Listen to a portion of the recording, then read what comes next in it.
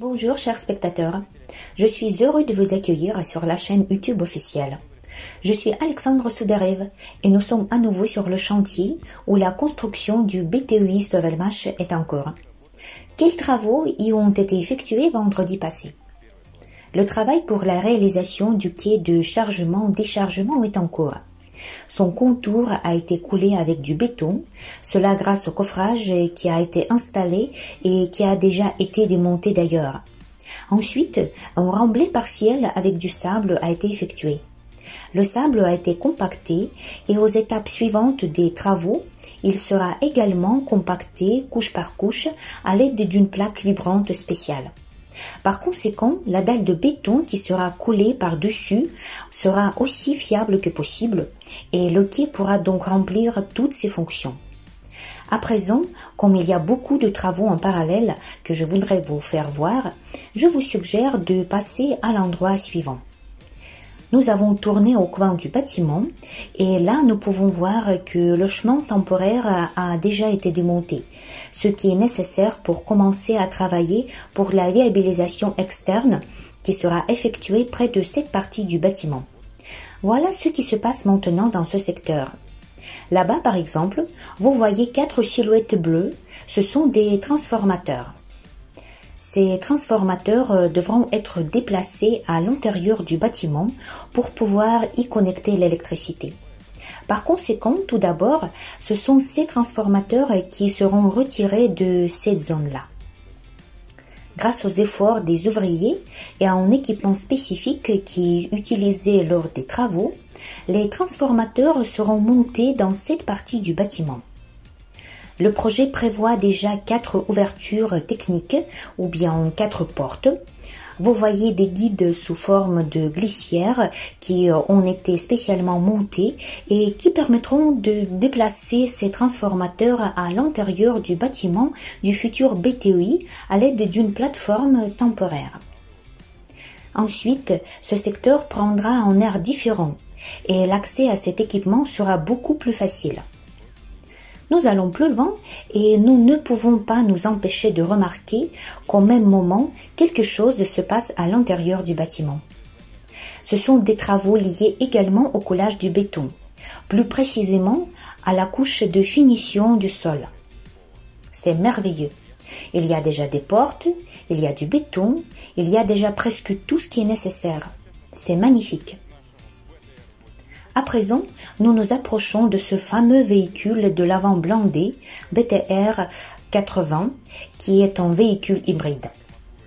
Nous voyons un grand nombre de cadres métalliques qui ont déjà été renforcés avec des barres d'armature.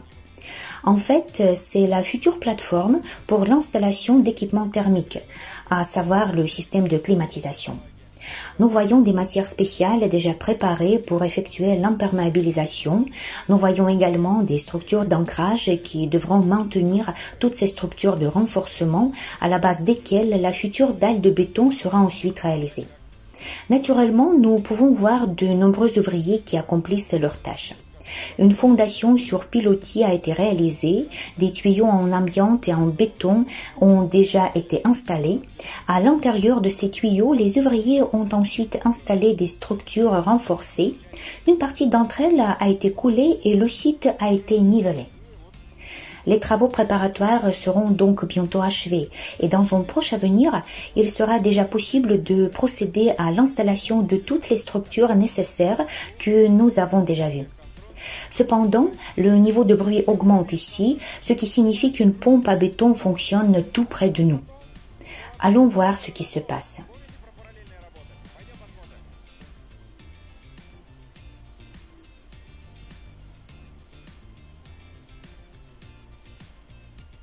Ici, c'est un peu plus silencieux, selon moteur du Kamaz fonctionne ici. Voilà ce qui se passe. Un camion bétonnière est déchargé, une pompe à béton grâce à un système de tuyaux fournit du béton à l'endroit où les travaux sont en cours. Un camion malaxeur fait la queue. Maintenant, nos caméramans vous montreront les images d'en haut et vous verrez qu'en fait, il y a un autre camion bétonnière sur le site et derrière la porte d'entrée, il y en a un autre encore. À noter qu'un camion malaxeur supplémentaire va bientôt arriver. Nous pouvons dire que ce jour-là, tous les nœuds de béton de Zelenograd travaillent pour le bien de Sovelmash.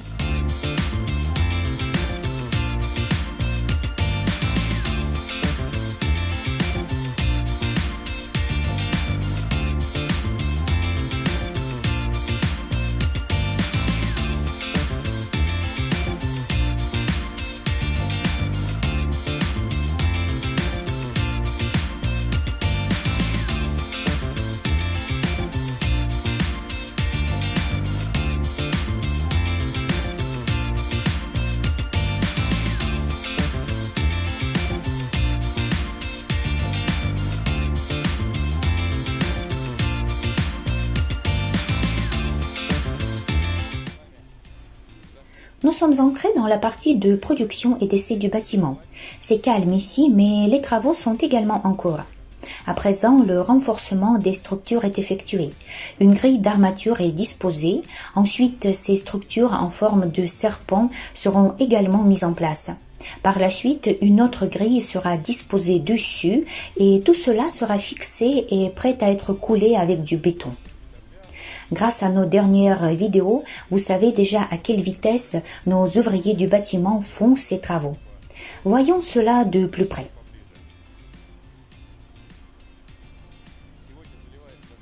Aujourd'hui, une assez grande surface est coulée avec du béton. Soit dit en passant, après la fin du coulage, ces appareils ressemblant à des hélicoptères passeront dans toute cette zone pour transformer un sol en béton ordinaire en un vrai miroir.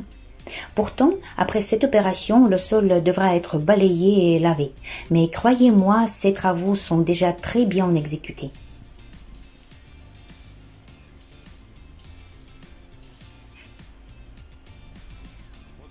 Voyons ce qui se passe ici. Toutes les bétonnières déchargent le béton dans ce secteur. Les ouvriers vont ensuite niveler une couche de béton. Ce sera une couche assez épaisse d'ailleurs. Faites attention à l'épaisseur de la dalle qui sera coulée. Vous pouvez imaginer combien de mètres cubes de béton seront versés rien que dans ce carré de surface.